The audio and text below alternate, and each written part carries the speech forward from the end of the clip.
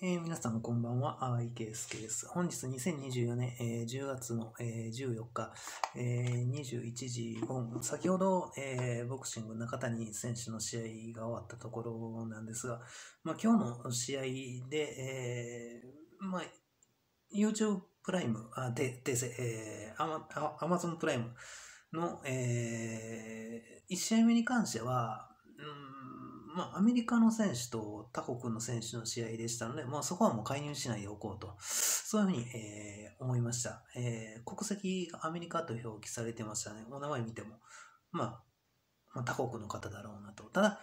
なぜかこう、あの、まあ、定定権という、まあ、日本のボクシング事務所の表記がされたんですが、まあ、多分、そういうふうに他国、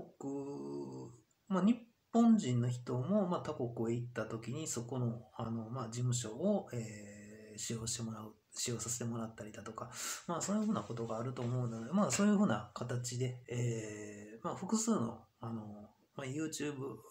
えー Amazon プライムですから、世界中で、あの、見られている方たちとかもいらっしゃるでしょうから、まあ、あの、その後の試合、えー日本人の選手と、えー他国のいろんな人たちとの試合があるから、ということだと思って、まあ、最初の試合はこちら介入しないでおこうと、まあ、最初から、えーそう思っていました。で、田中康生選手、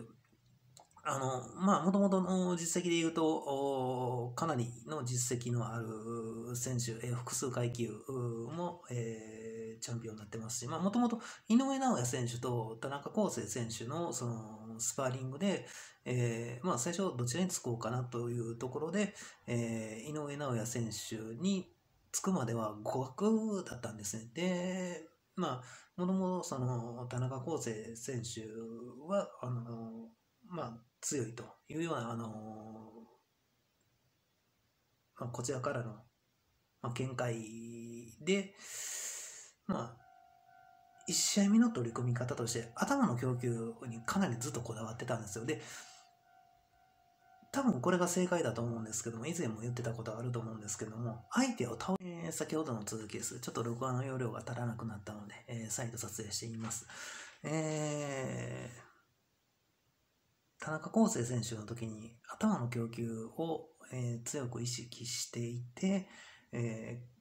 まあ、猛火が、あの、一回撮影途切れた後、もう一度撮影し直した、その瞬間の時の映像と比べて、この辺すぐこうなったじゃないですか。その頭の供給の話をすると、やっぱりまあ、こういう風になるものがあるんですが、えー相手を倒すことを意識したんですよ。倒しに行こうと。すると、田中康生選手がダウンしてるんですね。で、だから、うん、まあ、ホームページは淡井圭介の履歴というワードももちろん使ったりとかもしていて、うん、まあ、その中で、その、法律ももちろん、あの、唱えてた部分もありますから、その辺のところで、まあ、何がどういうふうに、えー作動したかっていうところは、これは大変難しい部分があります。他の試合でも、あのまあ、その倒しに行こうとして倒しに行ってる例もたくさんあるんですよ。まあ、だからそこは、あの、うん、工業だとか、そういうふうな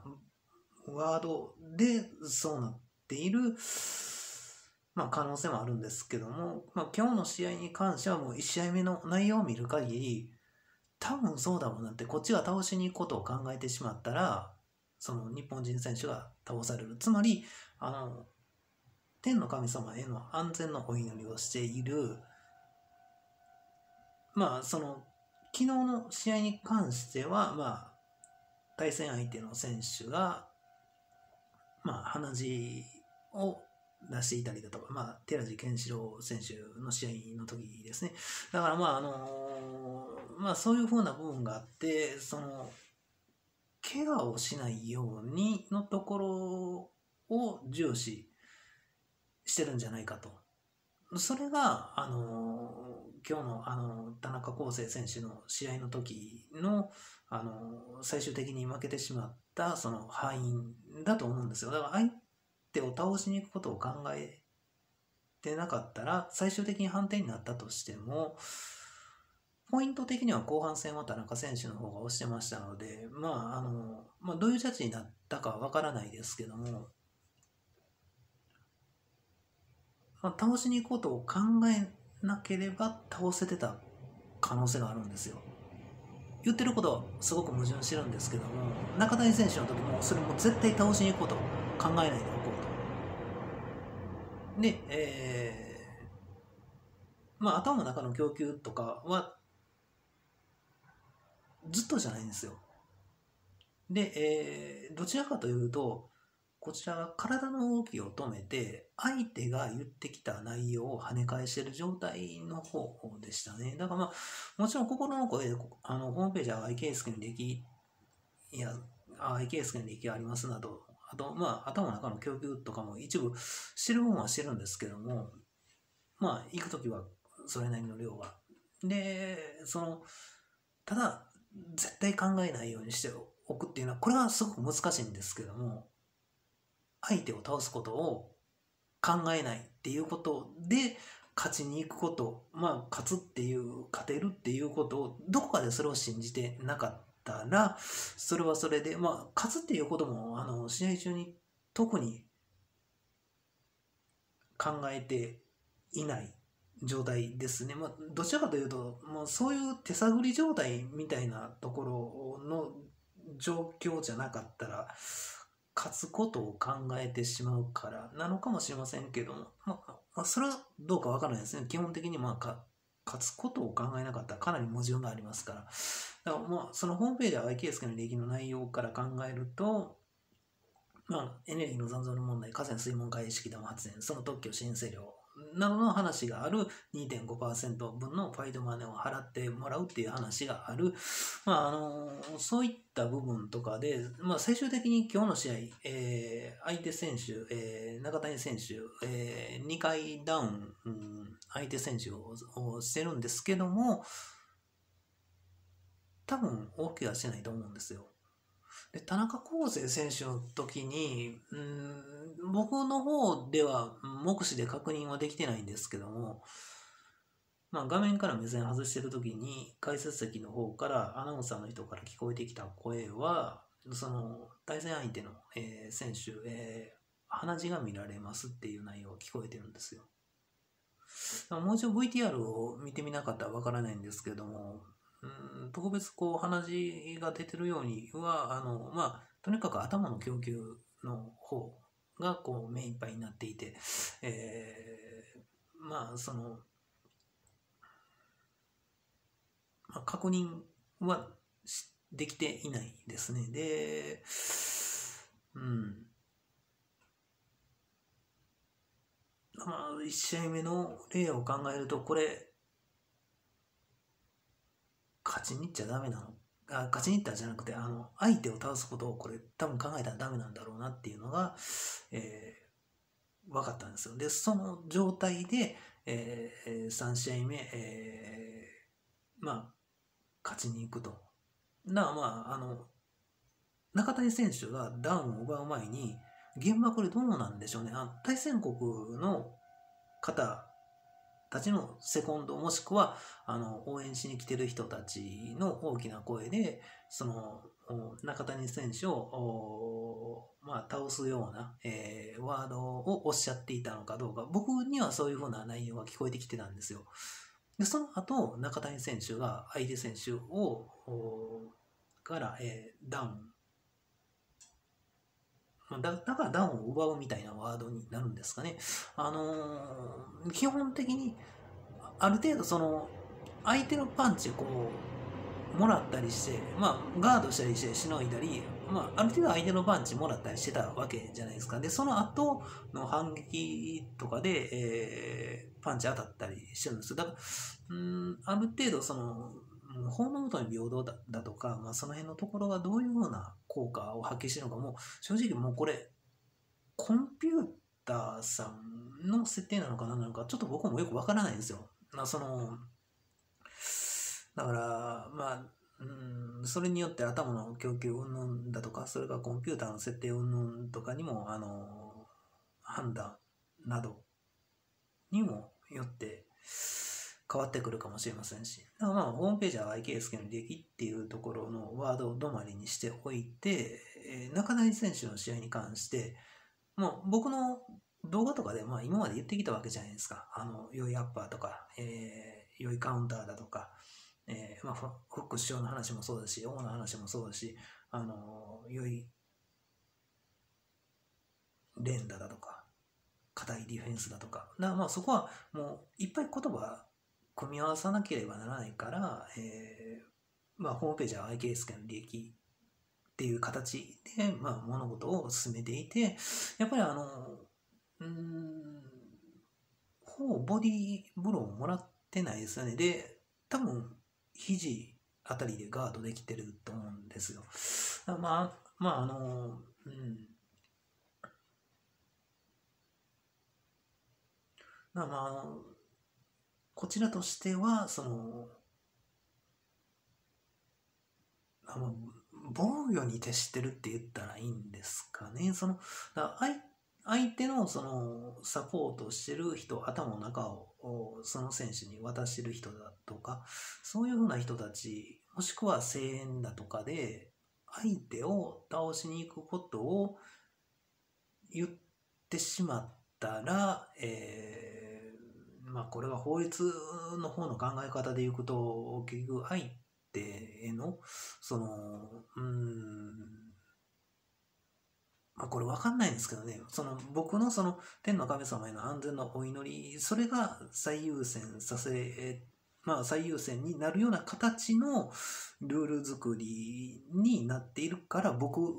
の立場は相手を倒すことを考えてはならない。で、そこへ平等というルールが入ってくると、相手もその、まあ、その頭の中を供給したり、こう、勝ち負け取り組んでる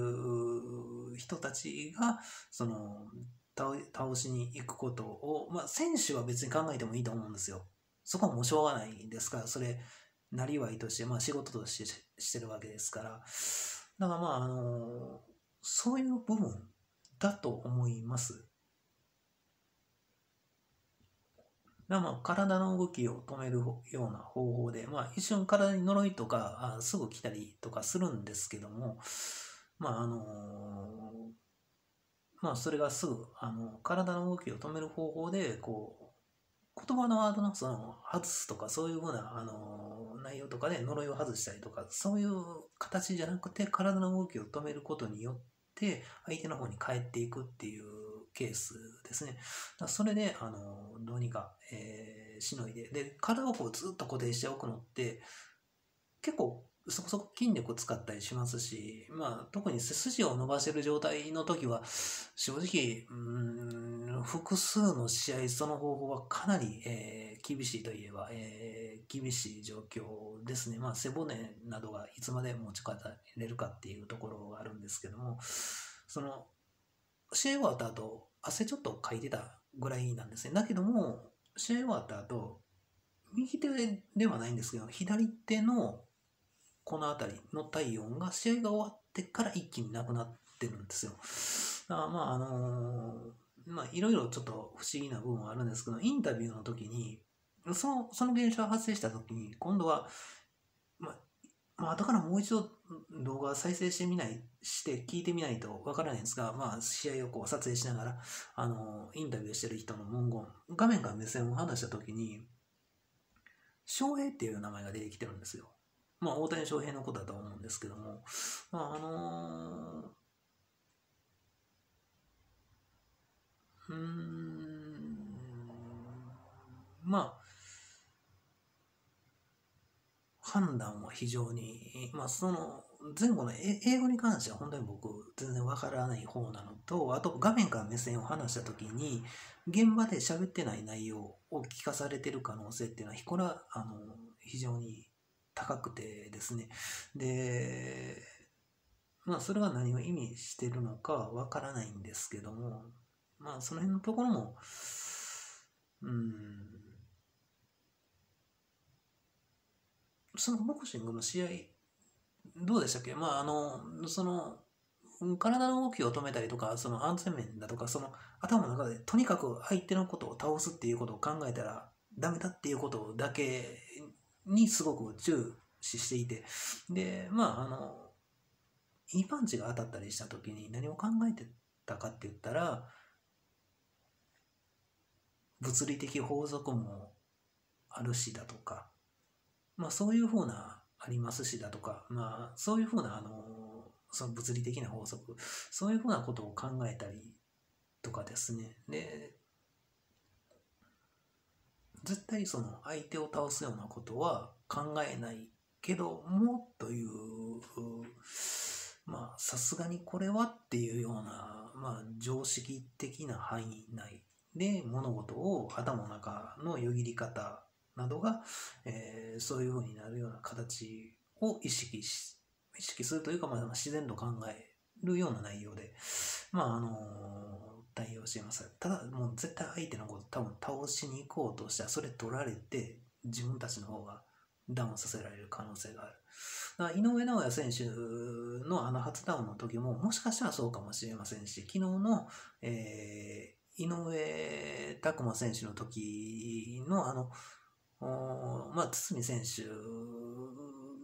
が勝って、まあ、それはそれで堤選手はおめでとうですし、えー、拓磨選手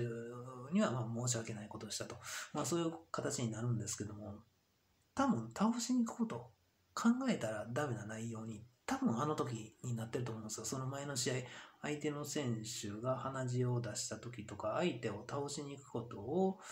強く選手は考えてもいいんでしょうけども、僕は考えたらダメだとか、あの、そういうふうな、かなりちょっと、あの、複雑な内容で、これも以前、今までの試合の中で、そういう経験何回かありましたから、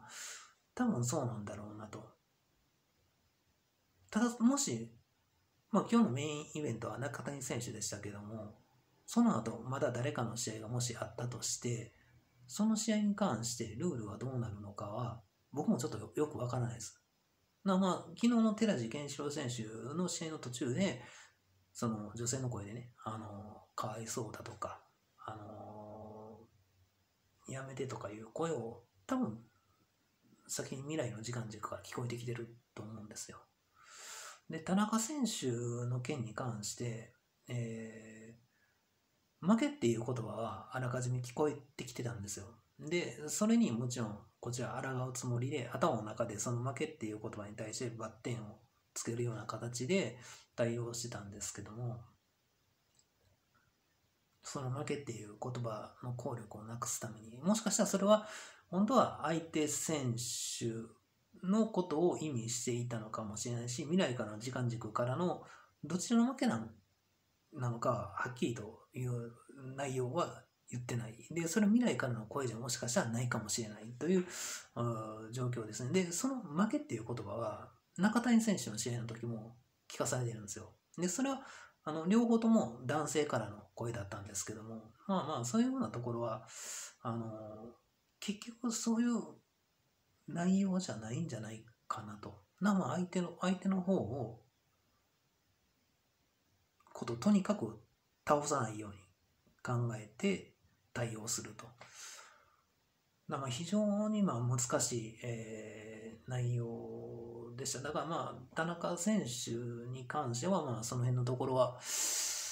まあそこまでちょっと1試合目でなかなか見抜くかどうかに関しては、見抜けるかっていうところに関しては、まあなかなかちょっと正直難しいところがありますね。あの以前の試合も、あの、複数の試合があって、ああ、そういう試合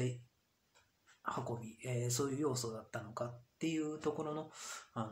のー、内容ですね。まあ、今日の中谷選手の対戦された、えー、外国人選手の方、2回ダウンされてますけども、多分出血もしてないだろうし、まあ、おおよそですよ、およそですけども、あの、骨折も多分してないと思うんですね。で、大怪我は多分してないんじゃないだろうかなというところなんです。で、まあ、今日の試合に関しては、合間で、あの、那須川天心選手の試合の時に買い物に行ってるんですよ。で、うん、今日一日の経過で言うと、まあ、ロッテと日本ハムの試合があって、本当はそこ、ロッテの方が、あの、負けれない状態でしたし、その前の日に、あの、ロッテの試合の時間帯に、えー、うん、インターネットをアクセスしたときに、16時30分ぐらい、阪神タイガースの試合とかもありましたけども、もうそこは意識しないで、えー、2対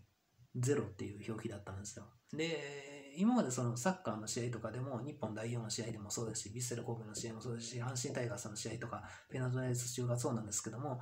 対戦チームがどこであれ、えー、その試合の時間中に食事をしたら、えー、点を取られていたと。だからまあ2対0で、えー、まあ16時、えー、半という時間帯でしたから、17時前に、えー、まあ丸亀製麺さんの方に、まあ、うどんを買いに行って持ち帰り用の。で、えー、ボクシングの試合が始まる前、まあ、17時15分ぐらいに食事をしてるんですよ。で、まあ、あとは、というところなんですが、まあ、その17時15分という時間帯が、その後、いつの間にか2対2になっていて、で、基本的に野球の試合って3時間ちょっと、特にあのロースコアだったわけですから、まあ、2-0ぐらいでその終わってたら3時間以内に終わってる可能性も十二分にある、えー、まあ、スコアなんですよ。で、それが2対2になっていて、その、うどんを食べてしまったがゆえに、えー、ロッテは負けてしまった。昨日の試合に関してです。で、昨日の試合でそこをなんとか勝ててたらよかったんですけども、まあ、その後、まあ、ボクシングの世界戦が、えー、まあ、岩田選手はそのチャンピオンベルトがかかってるわけではない試合ですから、もともとはまあ対象外といえば対象外なんですけども、まあそのもうアクセスしてからあの試合の状況とかを、えー、まあ確認してる状態ですから、まあその前にまあ食事をしておこうと。な、もう17時15、もうそこも勘なんですよ。で、もうそこ、もう、ロッテの試合終わってるだろうと。で、まあ、今日の状況に関しては、ロッテの試合が日中に行われてたっていうところが、あの、こちらの方で、えー、まあ、まあ、勘違いで結局負けてるんですよ。今日月曜日ですから、あの、いつもだったら、その、まあ、基本的に月曜日は、えー、セ・リーグとパ・リーグ、今の時代は、えー、休みっていう形にしてもらってるんですね。で、じゃなかったら、今度法律の方で物事をたどっていくと、週に1回休みの日がなかったら、絶対的に後で、その1ヶ月に4日の休みは絶対取得しなければならない法律になってるじゃないですか。で、まあ、年間のあの労働時間に換算したときに、220時間を超えたときにどうなるかわからないっていうところとかもあるので、まあ、その辺のところとか、まあ、いろいろ気をつけてるんですけども、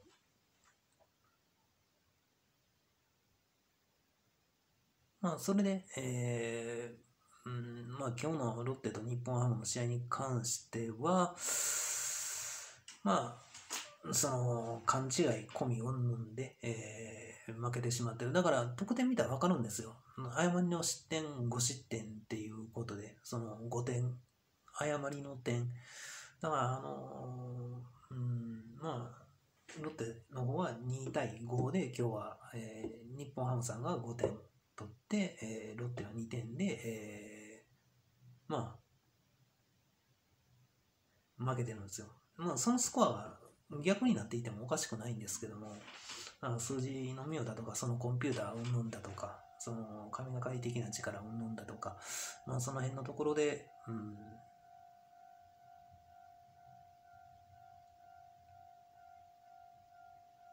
まあ、精神的には、あのなかなか、うん、どう言ったらいいんですかね、こう、世界戦をそのもうその田中選手のその試合の時にはそれはもう取り組むっていう形の気持ちには切り替わってるんですがもうそこでロッテのところで気がついた時に、ああスコア表記されてないけどもライブっても表記されてるけどああこれやってもやってしまったと。月曜日祝日のパターンだと。もうそこでもうだいぶあの泣いてしまってるんですがそのまあその戦後のねあの優勝回数を揃えるっていう話の方ででそこからまあもう一度気持ちを立て直してというような形で、で、まあ、ナスカ、まあ、この話、なぜしたかって言ったら、ナスカ天心選手の試合の時に、もう、食事買いに行こうと思ってるんですよ。もう動画でも、那須川天心選手のこと嫌いだっていうことを言ってますから。で、案の定絡んでこられてるんですけども、今日の試合は負けられないからだとか、その、田中康生選手が試合で負けた後、女性が絡んできてるんですよ。鳥貴族っていう焼き鳥屋の前で、小川小川の。で、まあ、髪の毛染めてる人間で、あの、まあ、田中康生選手のその VTR で自分で言ってたじゃないですか、四大統一するまで、えー、負けれないとか、負け、まあ、負けれませんっていうことを言ってたわけじゃないですか。で、多分その女は知ってると思うんですよ。で、こっちが精神的に、あの、まあ、落ち込んでる、そこに向かって絡んでくる、今日もし阪神タイガースの試合があったらどうなってたかって言ったら、まあ、あのー、あとは、日本代表の試合どうなってるかって言ったら、負けます。それ原因で。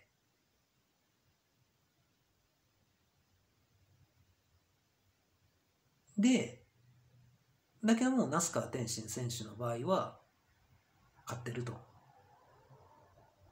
まあ、これは変なところなんですよ。で、えー、っとね、買い物行くときに、えー、っと、大門岡場駅寄りの方の、えー、公園、まあ、複数途中でありますけども、有馬優先病院の隣の公園じゃなくて、もっと岡場寄りの公園のところで、まあ、以前ね、その、うん、サッカーをしていた者たち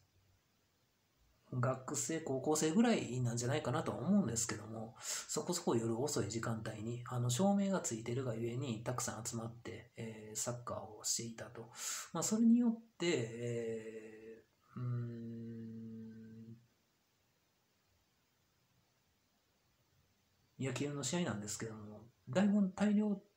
得点、その人数分得点取られてるような形で、えー、まあ負けたと。まあそういうふうな、えー、状況がありました。で、その後、その公演は、えー、もう照明つけなくなってるんですね。で、まあだから普通に考えたら、絡んでこられたら、那須川天心選手多分負けると思うんですよ。普通のルールで考えたら。日本人が日本人に対して違法行為を行ってますから。僕は今までどれだけひどい目に遭ってきたかっていうことはもう今まで散々言ってきましたよねって。で、えー、その件に関して日本人が日本人に対してまだ差別行為をする。これ他国の人間が全て分かった時に僕の被ってる被害考えたらこれルール絶対おかしいだろうってそれをあの読売ジャイアンツとかに置き換えてもそうですよ。東京勢とか。だからそれで向こうとしては買ったりしてるから、だから、だからジャイアンみたいなドラえもんのキャラクターがいて、だから昔から多分そういう、うん、変なルールがあ作られた、僕が生まれる前から多分そういう変なルールが何かあったんだと思います。それは法をたどっていった時にどういうふうな内容になってるかわからないですけど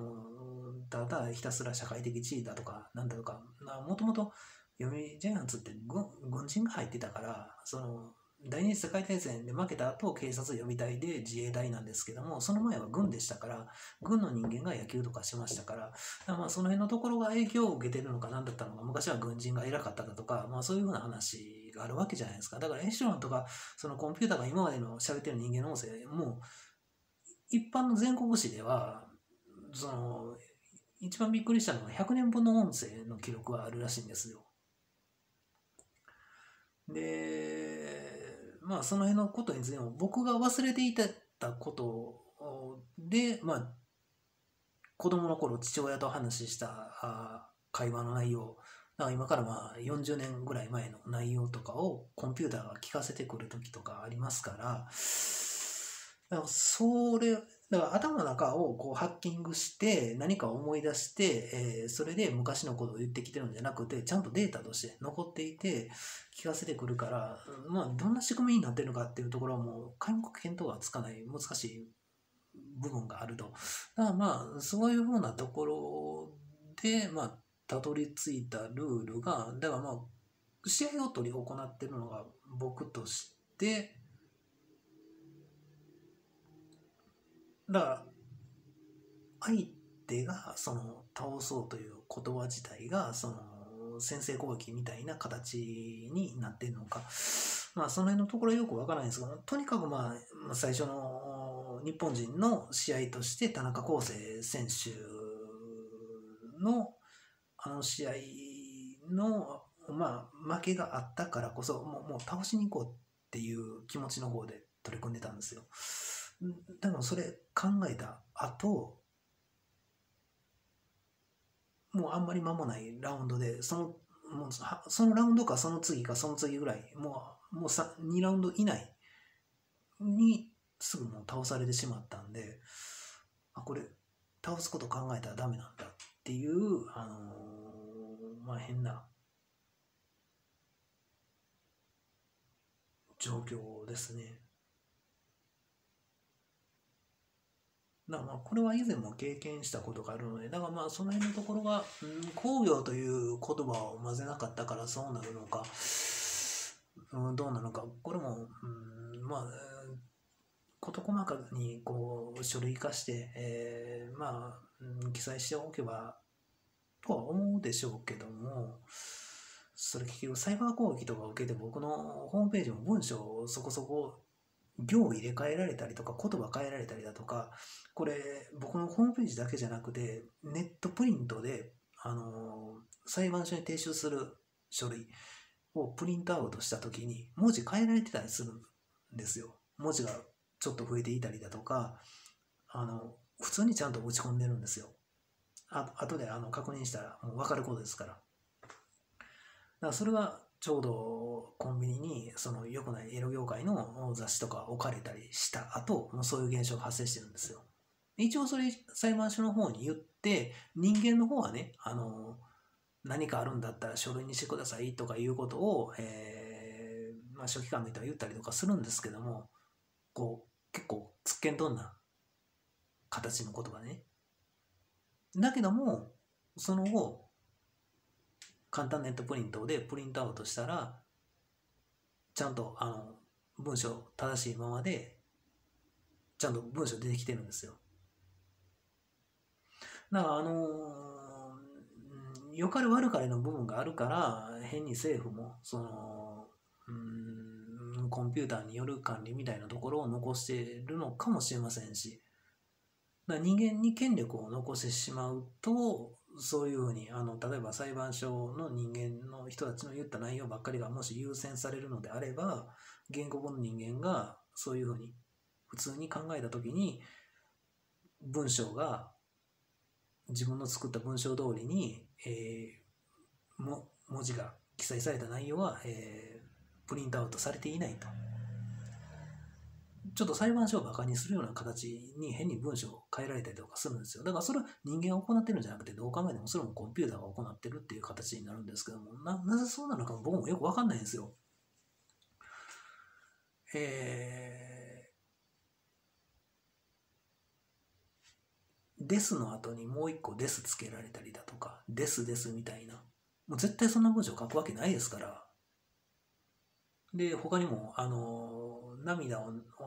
どうこうって書いてるその涙のところが津波とかの波に変えられたりだとか結構これやりすぎだろうっていうような内容で、え、コンピューターに自動で変えられてだからまあエロ業界が関わったらダメだと思うんですけどもだからまあまあ、だいぶ話長くなりましたけど、まあ、今日の試合に関して、最後の試合に関しては、倒しに行くことはとにかく考えない。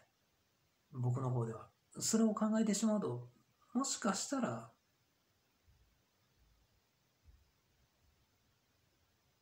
対戦相手のその人も、こう、まあ、相手からの内容をもう返すような方法を知っているのかもしれませんし、だからまあ、その辺のところで、うん、そうなってたのかもしれませんし、もうそれもよくわからないですね。その勝ち負けを担当してる人に聞いてみなければ。まあ僕の方ではもうそのようにあの対応して、で、まあ、まあ、相手を倒して、えー、だからホームページは愛圭介にできという内容で、膨大な量を今まで言ってきてるわけですから、多分人間では対処できないと思うんですよ。コンピューターがどういう判断をしているのかっていうところは、まあ、1試合目の内容を見る限り、うん、まあ、天の神様への安全のお祈りをしているからなのか、うん、まあ、ああいうふうな結果になったと。だからもう、うん、中谷選手の時は絶対倒さないように、えー、いようと。まあ、倒すような、あたこう自分からこう倒すとは思わないでいいよと。で、先に相手側の方からの声が聞こえてきてるんですよ。その、倒してしまえみたいな内容が。で、中谷選手は、ダウン、相手をダウンさせることができてるんですよ。で、まあ、2回目のダウンのあと、その、それまでの、あの、当たってるパンチとかもそうですし、ダウンした後、もう、何回も当たってましたから、もうそこまでいったら、もう多分もう、ある程度のところで、あの、まあ、どうなるかはなんとなくはこう分かってますけども、頭の中でもその辺のところ、あの、まあ次倒れるだろうなだとか、そういうことを考えないようにとにかく、えー、注意していました。で、その1回ダウンしたらどうなるかっていうのは、もう田中選手の時に、あの、もう嫌というほど味わいましたから、もうこっちも焦っていったから、もう1回以上は絶対ダウンを奪わなきゃならないんだとか、心の声でどうしてもこう、伝えたくなる。で、まあ、もちろん田中選手も、えー、ダウンを狙いに行ってる、行っていたとは思います。だけども、まあ、その辺のところは、えー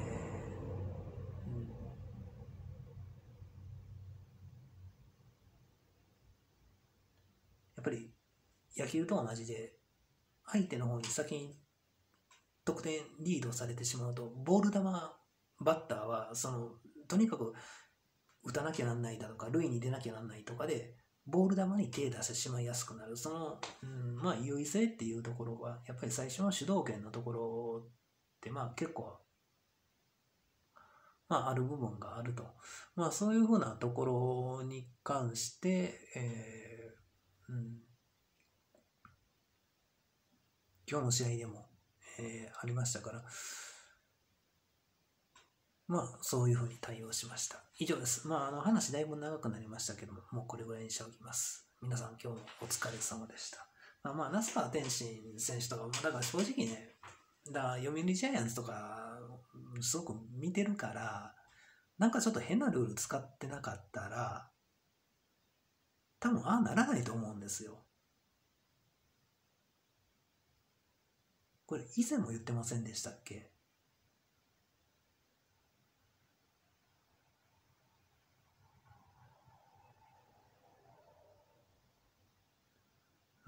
読売ジャイアンツの優勝回数とか、ホームページは YK スケの歴の100番台のところに記載してますけども、日本のプロ野球界の、えー、今までのその順位っていう、まあ、ちょっと言葉のワードは忘れましたけども、100番から110番までの間ですね、まあ、そこ見てもらったら、第二次世界大戦の後、こんなに優勝回数偏ってたんだって、それも、僕が生まれてくる1977年までの間がほとんどなんですよ。9年連続日本一とか、よっぽどおかしな頭の中の生き方とかしなかったら、もう一方的な搾取か何か発生しなかったら、多分あんな現象は絶対起きないと思いますよ。でもそれは一番怪しいのは、日程、日本テレビ放送の株式会社は読売新聞のもあの系列の会社であって、で、えー、民間のテレビ局で一番最初に開業しているっていうところで、電波に関しては、いろいろ知ってた部分があるのかもしれませんし。他の球団ってテレビ局がついてないわけじゃないですか。で、テレビ局ってフェイクを放送してるのに捕まってないでしょ？で、高い給料得てるでしょ？その時点で、絶対、一般的な法律側のルールじゃないはずなんですよ。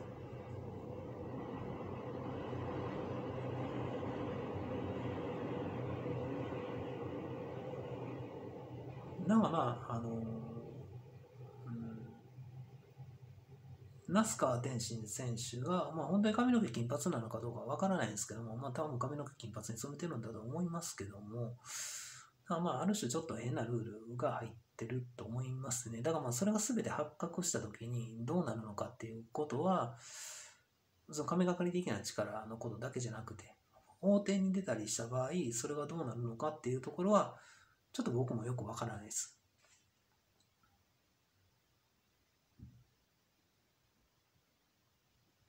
安倍政権の時に、一回、その、日本の借金が、こう、毎年まあ、基本的にああいうものは増えていくものなんですよ。まあ、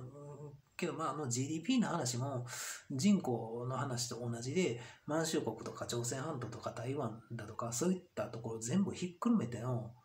GDP の可能性があるんですよ。10人分に。だって国内総生産ですもん。だって日本の今の人口って、3000万人いるかどうかぐらいです。で、えーとえー、九州と台湾と同じ面積ですけども、九州って大体300万人ぐらいですよ。行政が発表している人口の、表記している人口の、どこの都道府県も3分の1か4分の1。で、えー、特に東京と大阪と神奈川県はかなり怪しいです。表記している人口の5分の1もありえます。なぜなら、兵庫県よりの面積と比べると5分の1しかないんですよ。それは高いビルはたくさんありますよ。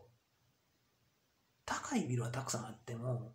なお、何で見てるかって言ったら、一応まあ甲子園の出場校の数とかで、各都道府県との、あの、まあもちろん人口は東京は多いのは多いんですよ。あの四国なんて、愛媛県の48校のエントリーしてくる高校野球が四国の中で一番多い県なんですよ。香川県とか高知県とか徳島県ってもっと数少ないんですよ。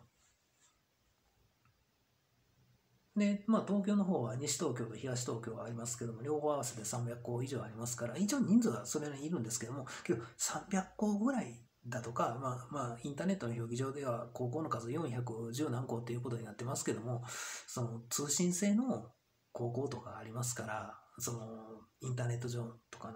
だからそういうふうな、あの、そこの東京都に住んでない人間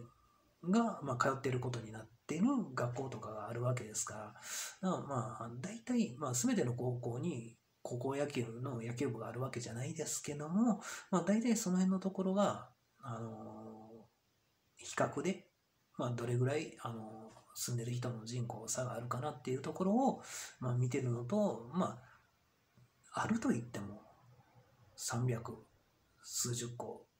まあ、400校とはもう見れないですね。通信制の高校とかありますから。だから、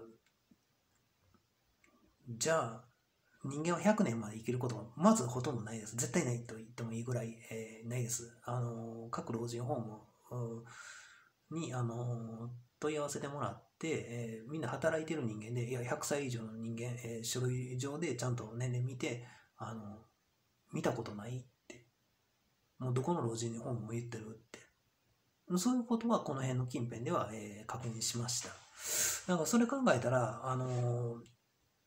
まあ、高校1年生から3年生ですから、まあ、0歳から、まあ、100まででは本当はないんですかも、分かりやすく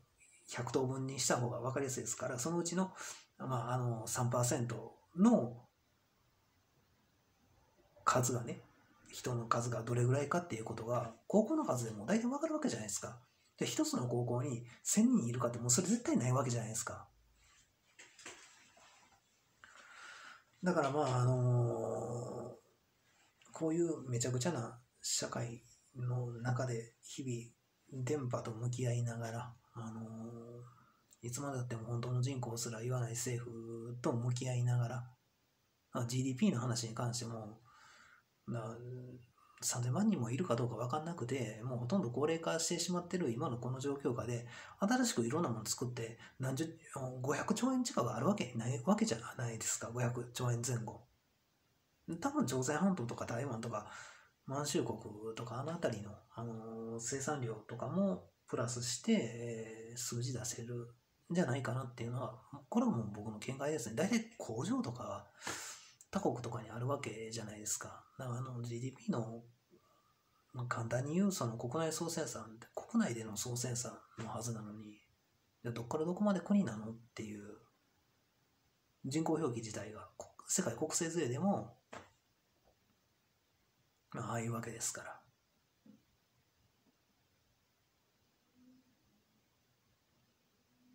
まあ、あの、うん、まあ、まあ、河川水門海式玉発電とかその辺のところを進めなかったら、まあ、あんまり人類長くないのと。で、まあ、長くないっていうかもう結構間近。で、うん、まあ、いろんな都道府県で結局、本当は石油採掘してるんだろうなと。どう考えてもサウジアラビアとかだけで、数カ国だけで、世界中の原油まかないのわけないじゃないですか。多分世界中どこの国も掘っていて、で、地震と向き合わなきゃなんない。で、今更政府もそれも言い出せない。だと思いますね。まあ、新潟県に関しての、その、インターネット記事を見かけました。採掘量が日本一とか書いてましたけども、もうそれも多分、本当かどうかわからないですよ。他のあの海底油田とか、今更東日本大震災は、その石油メーカーが海底の底から、えー、石油を掘削して、で、一斉崩落で、えー、大津波が来ましたと。でとんでもない損害賠償の話になるわけじゃないですか。だそれを昔からその隠蔽したりしていたから余計に隠蔽が余計隠蔽になってそんな巨大な隠蔽死刑囚になるじゃないっていうようなぐらいの話になってくるわけじゃないですか。だからもう本当のことをずっと言い出せないままでで本当のことを言え言わないがゆえにある日突然石油が止まるガスが止まる電力の供給が止まるだから東日本大震災が発生した時に東京の方でも計画停電がありましたからそれ考えたらなんとなく話整合性がついてくるんですよ海外から輸入していたら電気作れるじゃないかっていう話になってきますからもちろんあの原発がやられてたのはありますよだけども他の指電源とかの話は今まで火力発電所とかであったのに、えっていうわけになるなるわけじゃないですか。だから本当のところは、もうそうなんだと思いますよ。第一次世界大戦、第二次世界大戦自体が資源の奪い合いで、あの、領土を拡大していったり、世界中で行ってたわけですから、で、その元は掘り尽くした場合、亡くなってしまった時の恐怖感と、今更時代は後戻りできない食料の供給が全て止まってスーパーマーケットに食料が並ばなくなる。電力もない。みんな死ぬ。ほとんどの人間が死ぬ。まず死ぬ。で、えー、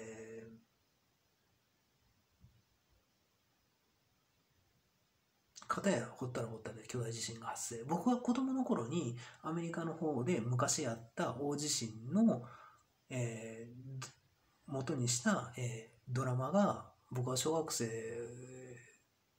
5年生ぐらいの頃ですかね、4年生ぐらいか、それぐらいの頃、あの NHK でああの8時から、日曜日の8時からだったと思うんですけども、9時ぐらいまで放送されていて、主人公はおじいさんで、ガスっていう名前なんです。まあ意図的にそういう名前にしてるんだろうなって思うんですけども、まあガスの採掘か何かで、まあ天然ガスの7割は石油の気化したものです。以上です。まあ、あの、ちょっと、まあ、ボクシングとは違う話もだいぶ、えー、入ってますけども、まあ、あのさ、最後の最終戦に関してはそういう取り組み方で、えー、勝てています。以上です。